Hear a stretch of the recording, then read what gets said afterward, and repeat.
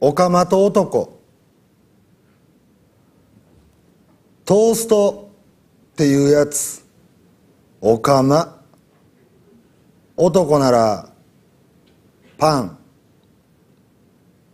カフェっていうやつ。オカマ男なら喫茶店。メンソール。っていうやつ。オカマ。男なら発火タッパーっていうやつ。オカマ。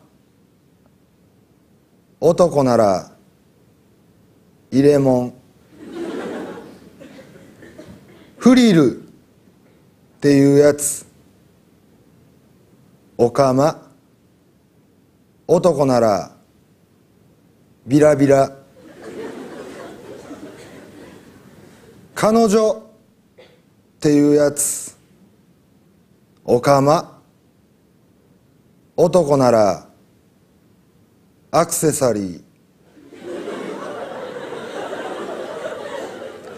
クリスマスイブっていうやつオカマ。男なら平日。トラックっていうやつ。オカマ。男なら日野。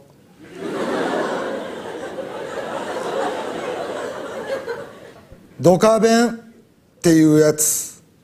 オカマ。男なら山だ